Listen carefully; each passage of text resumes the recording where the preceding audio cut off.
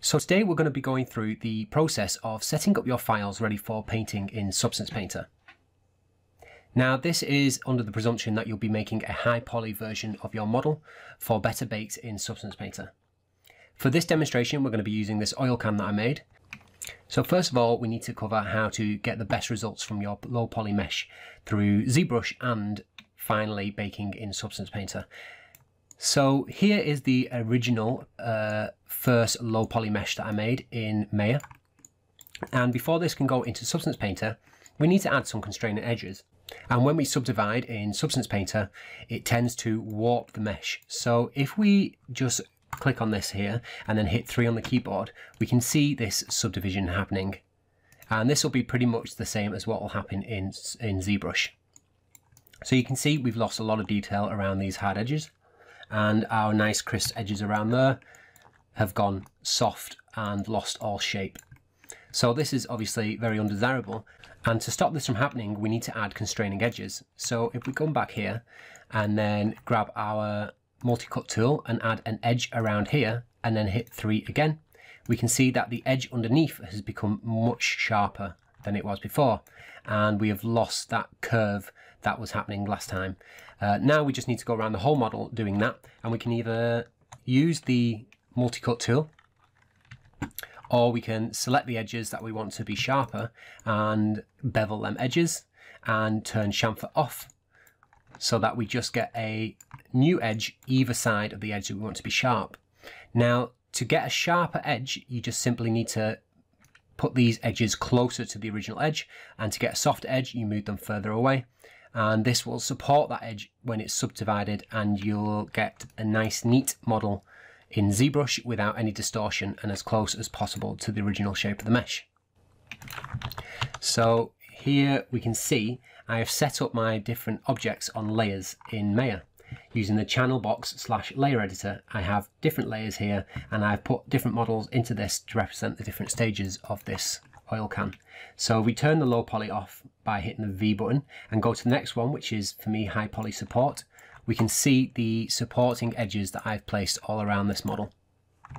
And you can see I've done it on every single edge, even the little bevels that I've got around the caps, because I want all these to be nice and sharp once it's smooth. So if I smooth that now, you can see that this creates a nice soft edge, but also it's just sharp enough to create um, a nice bake and I've done that to the whole model. Now this process does take a long time and obviously it takes longer the more complex your model is and the more extrudes and stuff like that you have because you do need to get that new edge topological flow as neat as possible so that you don't get any errors in the smoothing.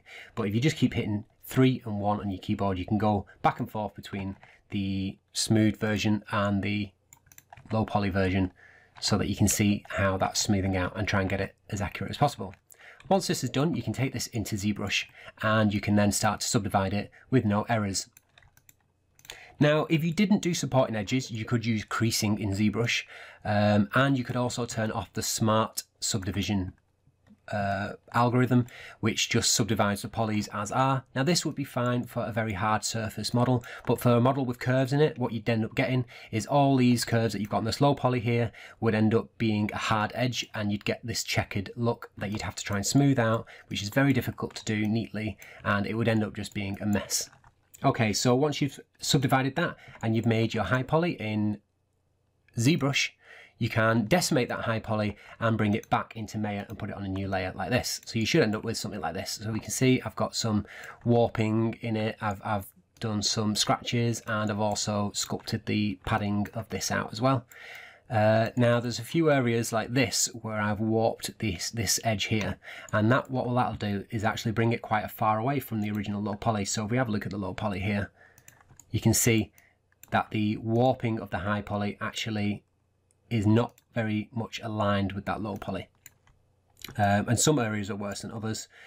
Uh, so to increase accuracy of the bake, what I've done is because I've just subdivided this in ZBrush, I have still got my lowest poly in ZBrush and that lowest poly in ZBrush will have warped a little bit. So what I do is take that low poly out of ZBrush, export it back into Maya and use that as my new low poly. So now if we look here, I've got this one for sub and this new low poly if we get that up and the original low poly, we can see the difference. So this is the new one in green and this is the original old one. And you can see how much it's warped in ZBrush to match the new sculpt. So we don't need that original low poly anymore. We've just got this new low poly that more accurately represents our high poly.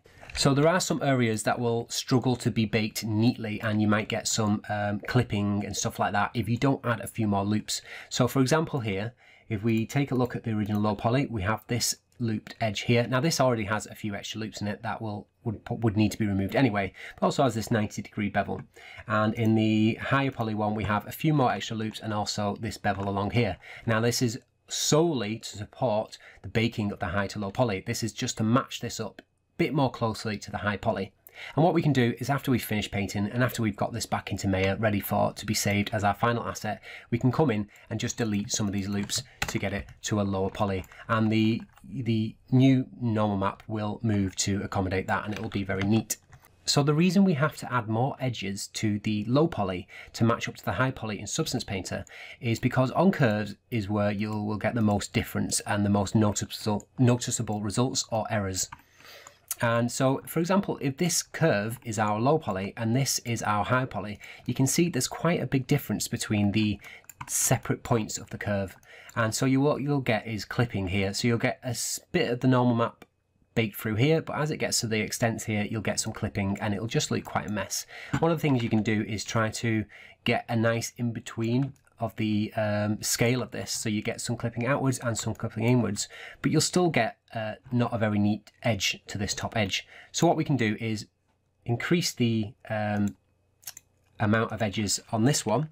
Say if I can increase it to 30, and this will better accommodate that high poly and you'll get a much neater bake and then what you can do once you've finished you can come back into this in Maya and just delete out some of them extra loops um, and you'll end up with a much nicer result. And you'll understand that more as you come to them problems in your own work. Okay, so we have our low poly and we have our high poly ready in Maya to be exported into Substance Painter. Now in Substance Painter there are two ways of baking neatly. One is to use a mesh name prefix and the other one is to use the exploding method. Now we're going to use the exploding method but just a little rundown on the mesh name prefix. What you basically do is you find your low poly and what we do is we go through each low poly item and we name it correctly. So for this example, it is uh, top wire. And we give it the prefix low. And then we go to our high poly version, find the same one, name it the exact same thing, and give that the prefix high.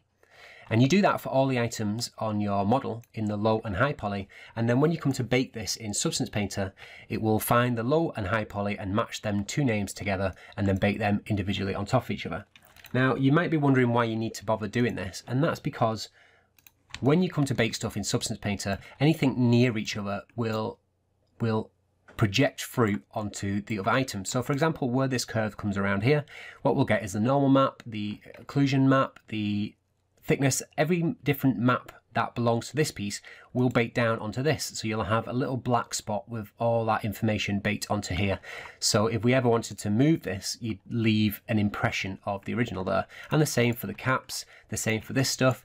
Things that might want to be animated, obviously, are the most important because once they move in the animation, you'll be left with an impression of where it used to be. So this is all quite nasty. And there's some things that you might want to leave an impression, like these buttons, I'll want to leave an impression around here so that we can find them edges and fill them with dirt and stuff like that. But a lot of this, I won't want to have be like that.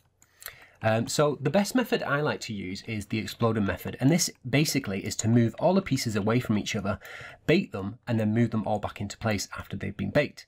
And the reason I like to do it this way is that when they're all away from each other, it's easy to check over in Substance Painter to make sure that there's no errors. Now to do this, we need to get the high and low poly up at the same time, select the two pieces at the same time and move them away.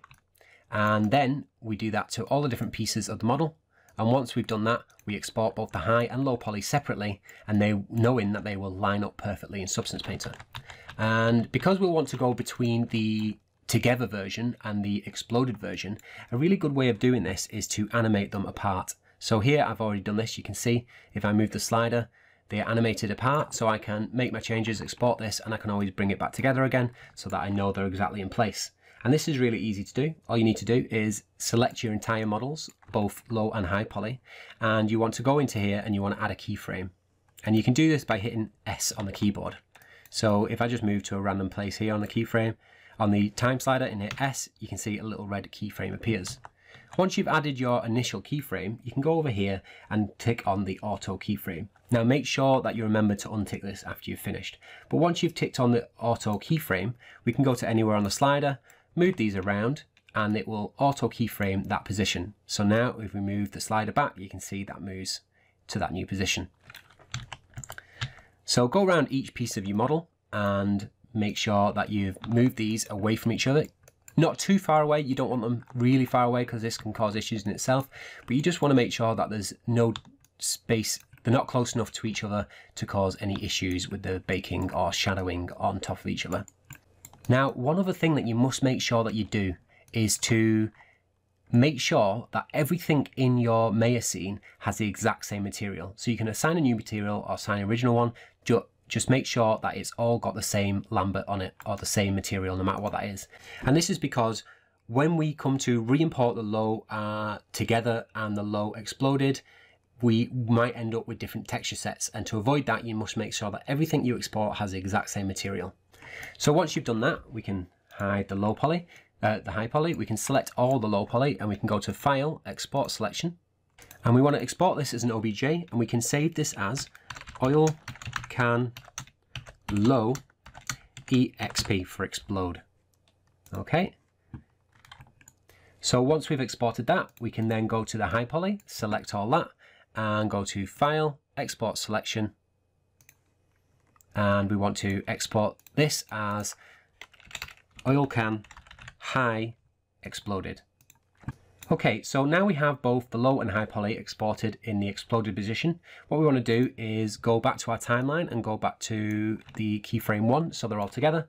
And this time we want to select the low together. And we can just export this as oil can low. And again, the same for the high poly, select all that. File, export selection. And we want this to be oil can high. Now we've got all our files ready, prepped and exported, uh, ready for baking in Substance Painter.